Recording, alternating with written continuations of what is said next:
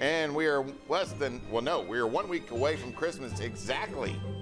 And your deadlines to get packages shipped is coming. You do a lot of that in the house.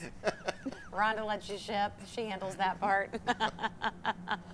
All right, Leslie Ackerson joins us with some important dates. Good morning. Hey, good morning, Abby and Russell.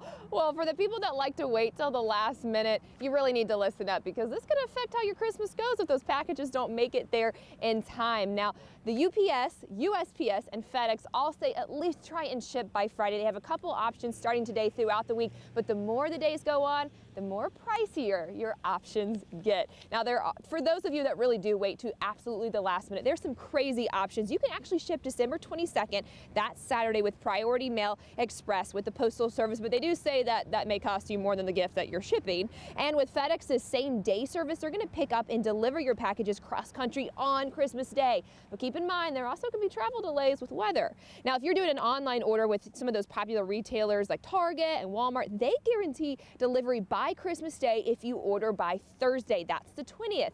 Now, if you're an Amazon Prime member, you actually have the luxury of waiting until Christmas Eve. Yes, Christmas Eve to place orders on select last minute gifts with free next day delivery. That just blows my mind. Now, once those gifts actually make it to their destination, here's a couple security tips. If you know you're not going to be at home to get that gift, try and send it to an alternate location like your work or maybe a neighbor's house who you know could grab it for you. Or you can arrange pickup at the nearest distribution center for UPS, USPS, and FedEx. You also can request signatures before the crews will actually leave that on your doorstep, or some of them offer those uh, customizable delivery instructions if maybe you have a safe spot to put those gifts. And always try and sign up for those text alerts so you know exactly when your gift is going to be dropped off on your porch so it isn't sitting there for hours because we know this time of the year there are lots of Grinches going around and taking gifts off people's porches. But again, like you guys said, one week away till Christmas Day. I'll send it back to you in the studio.